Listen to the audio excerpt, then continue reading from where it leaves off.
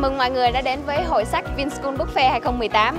Đây là sự kiện thường niên của trường Vinschool. Năm nay, sự kiện đã quy tụ được gần 15 nhà sách với hơn 10.000 đầu sách. Welcome to Vinschool Book Fair 2018. This is the annual event of my school. There are nearly 15 bookstores with 10,000 of different types of books. Book Fair 2018 này nên duy trì hàng năm để giúp cho văn hóa đọc không chỉ là cho cả trẻ em mà còn cho cả bố mẹ phụ huynh nữa để cùng con đọc sách. Đây là hoạt động trao sách gửi yêu thương của Ngày hội Vinschool Book Fair 2018. Trước ngày hội này một tuần, tụi mình đã quyên góp sách cũ và hôm nay tụi mình bán đồng giá 15 ngàn.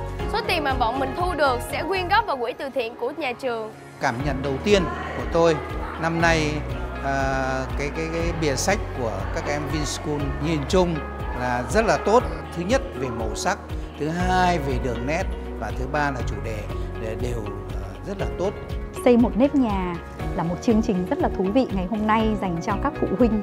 Tôi mong rằng sau chương trình này thì có rất là nhiều vị phụ huynh sẽ bắt đầu thiết lập những nguyên tắc dành cho con mà những nguyên tắc này sẽ giúp cho con bạn trưởng thành, trở nên những người tự tin, hạnh phúc tôi rất là thích cái chương trình ờ, hội sách ngày hôm nay tôi được tham dự. Tôi thấy nhiều ông bà, cha mẹ ờ, rất là nhiều đứa bé hạnh phúc được đi với người thân của mình. Và đến đây có rất là nhiều quầy sách, có nhiều hoạt động, có cả triển lãm tranh, có những hoạt động vui, thú vị dành cho cả trẻ em là cả người lớn. Suốt cả một tuần nay thì các con rất là háo hức. Bố mẹ và các con thì trong cái cuộc sống hiện đại mình không có có quá nhiều thời gian để được ở bên con. Nhưng mà những cái lần như thế này thì giúp cho mình cũng hiểu được cái sở thích, cái tâm tư nguyện vọng của con. Mong muốn là qua cái hội sách này thì con sẽ tìm thấy được những cái nét đẹp trong mỗi trang sách. Hôm nay thì bạn gái của mình cũng có tham gia book review.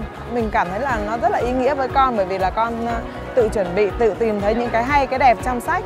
Phụ huynh và các con cũng rất là là hào hứng và và cũng đang tìm hiểu sách để lựa chọn cho con những cuốn sách thật là hay. Các em đã truyền tải được những cái thông điệp rất là tốt rất là ý nghĩa mang tính nhân văn cũng như là tính sáng tạo của các em rất là đặc biệt và đặc trưng của các Vinser tại trường Vinschool. Năm nay là năm thứ hai tôi được tham gia làm ban giám khảo của cuộc thi hóa thân cùng sách. Hội sách này nó ngoài cái ý nghĩa là một cái hoạt động, nó còn mang đến cho tất cả chúng ta à, một cái tình yêu đối với lại sách hơn.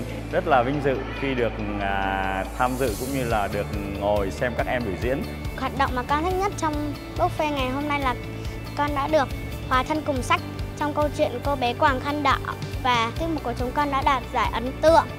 Đây là năm đầu tiên mình được học ở Vinschool và cũng như là lần đầu được trải nghiệm một hoạt động buffet hoành tráng như thế này. Bản thân cảm thấy rất là tự hào và may mắn khi được học trong một môi trường văn minh và sôi động như Vinschool. Và trong uh, chương trình hôm nay, mình thích nhất là buổi trình diễn áo dài. Mình cảm thấy rất là vui và tự hào khi bản thân đã được tham gia vào phần trình diễn áo dài hôm nay.